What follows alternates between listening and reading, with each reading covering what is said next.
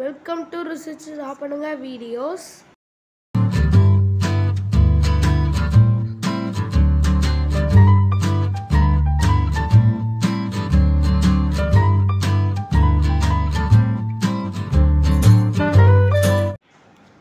பாசி பருப்பில் சூப்பரான நாக்கில் வச்சோன்னா கரையிற மாதிரி ஸ்வீட் எப்படி செய்யலாம்? வாங்க வீடியோக்குள்ளே போகலாம் ஒரு கப் பாசி பருப்பு எடுத்துக்கலாம்.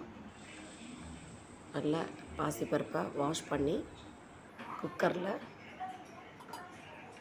ரெண்டு கப் தண்ணி ஊற்றி வேக வச்சுக்கலாம். மெஷர்மெண்ட் ரொம்ப முக்கியம். ரெண்டு கப் தண்ணி ஊற்றிக்கோங்க கூடுதலாகவோ குறைச்சலாவோ ஆச்சுன்னா ஒன்று ரொம்ப இலகிரும். இல்லை உடஞ்ச மாதிரி ஆகும்.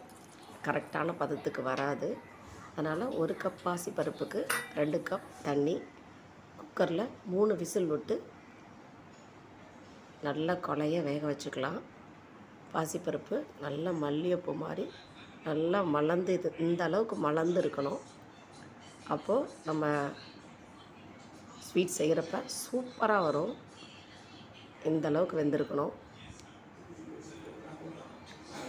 ஒரு கப் பாசிப்பருப்புக்கு ரெண்டு கப் வெல்லம். அப்போ தான் அந்த இனிப்பு வந்து கரெக்டாக இருக்கும். உங்களுக்கு இனிப்பு கூடுதலாக வேணான்னா ஒன்றே முக்கால் கப் போட்டுக்கோங்க. நான் ரெண்டு கப் போட்டிருக்கேன். எங்கள் வீட்டு ஸ்வீட் நல்லா சாப்பிடுவாங்க விரும்பி. அதனால் ரெண்டு கப் போட்டிருக்கேன். இதுக்கு தண்ணி வந்து கால் கப் ஊற்றிக்கணும் தண்ணி கூடுதலாக ஊற்றிடக்கூடாது கால் கப் தண்ணி ஊற்றிக்கோங்க அதுக்கு மேலே ஊற்ற வேணாம். சும்மா இது வந்து லைட்டாக நம்ம இதில் உள்ள டஸ்டெல்லாம் எடுக்கிறதுக்கு இது மாதிரி ஒரு கொதி வந்து இது மாதிரி நல்லா ஒரு கொதி வந்து இறக்குனா போதும். கம்மி பதம் அப்படியெல்லாம் கிடையவே கிடையாது. அவ்வளோதான் இதை நல்லா நம்ம வடிகட்டி எடுத்து வச்சுக்கலாம்.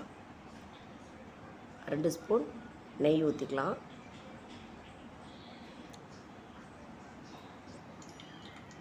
இதுக்கு முந்திரி பருப்பு போட்டு நம்ம இந்த நெய்யிலேயே முந்திரி பருப்பை போட்டு வறுத்தெடுத்து வச்சுக்கலாம். நல்லா பொன்னிறமாக முந்திரி பருப்பை போட்டு வறுத்தெடுத்து வச்சுக்கலாம். இந்த அளவுக்கு வறுத்தா போதும். எடுத்து தனியாக ஒரு பிளேட்டில் எடுத்து வச்சுக்கலாம். ரொம்ப சாப்பிட்றதுக்கு சூப்பராக இருக்கும். இந்த ஸ்வீட் வந்து தஞ்சாவூரில் ரொம்ப ஸ்பெஷலான ஸ்வீட் இது. தஞ்சாவூர் கடம்புன்னு சொல்லுவாங்க. அவ்வளோ டேஸ்ட்டாக பிரமாதமாக இருக்கும். கண்டிப்பாக ட்ரை பண்ணி பாருங்கள் முந்திரி பருப்பை வறுத்தாச்சு.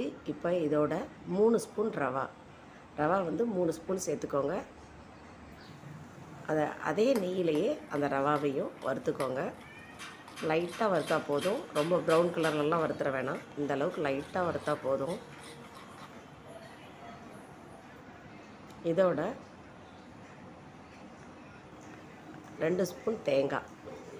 அந்த கரண்டி சட்னி கரண்டி அந்த கரண்டியால் ரெண்டு கரண்டி தேங்காய். அதாவது தேங்காயில் அரைமுடி தேங்காய்னு வச்சுக்கோங்களேன் கரெக்டாக இருக்கும். அரைமுடி தேங்காய். அதை நல்லா இது மாதிரி அந்த நெய்யிலேயே நல்லா அப்படி வறுத்துக்கலாம். எதுக்கு நெய்யிலேயே வறுக்குறீங்கன்னா இதை சில பேர்லாம் ஃபைனலாக சேர்ப்பாங்க. தேங்காயை ஃபைனலாக சேர்ப்பாங்க. நீங்கள் நெய்யில் வறுத்துட்டிங்கன்னா ரெண்டு மூணு நாள் ஆனாலும் அந்த ஸ்வீட் கெட்டே போகாது.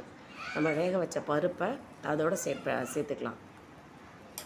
பாசிப்பருப்பையும் இதோட சேர்த்து நல்லா இந்த ரவா தேங்காய் பாசிப்பருப்பு எல்லாத்தையும் நல்லா மிக்ஸ் பண்ணிக்கலாம். தேங்காய் ரவா இந்த பாசிப்பருப்பு எல்லாத்தையும் நல்லா இது மாதிரி மிக்ஸ் பண்ணி விட்டுக்கோங்க. நல்லா மசிச்சு விட்டுக்கோங்க. கொஞ்சம் கூட கட்டி இல்லாமல் மசிச்சு விட்டுக்கோங்க. அப்போ தான் நீங்கள் ஸ்வீட் கிண்டுறப்ப கட்டி இல்லாமல் நல்ல சூப்பராக வரும். ரெடி பண்ணி வச்சுருக்க வெள்ளைப்பாகை இதில் ஃபில்ட்ரு பண்ணி அதில் உள்ள டஸ்டெல்லாம் ஃபில்ட்ரு பண்ணி எடுத்துக்கலாம்.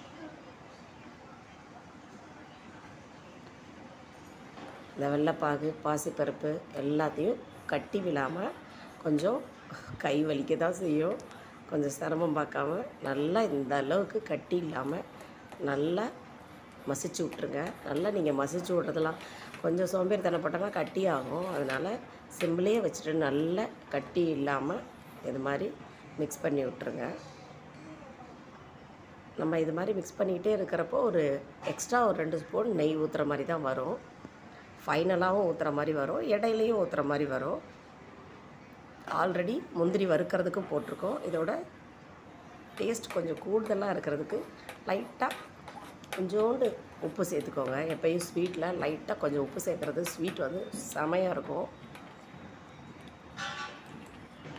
அவ்வளோதான் இதோட நம்ம ரெடி பண்ணி வச்சுருக்க முந்திரி பருப்பையும் ஆட் பண்ணிக்கலாம். எல்லா முந்திரி பருப்பையும் இதோட ஆட் பண்ணிக்கலாம்.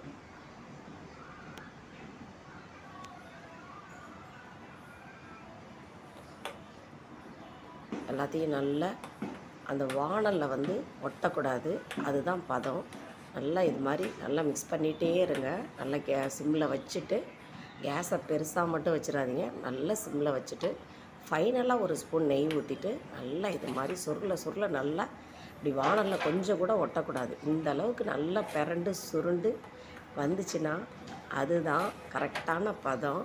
ட்ரை பண்ணி பாருங்கள் பாசிப்பருப்பை வச்சு இப்படி ஒரு ஸ்வீட்டாக நாக்கில் வச்சோடனே கரைகிற மாதிரி அவ்வளோ டேஸ்ட்டாக அவ்வளோ பிரமாதமாக இருந்துச்சு. தஞ்சாவூருக்கே ஸ்பெஷலாக இந்த கடம்பு ஸ்வீட் வீடியோ உங்களுக்கு பிடிச்சிருந்துச்சுன்னா லைக் பண்ணுங்கள் ஷேர் பண்ணுங்கள் கமெண்ட் பண்ணுங்கள் மறக்காமல் பெல் ஐக்கனை தட்டிடுங்க. Thank you thank you for watch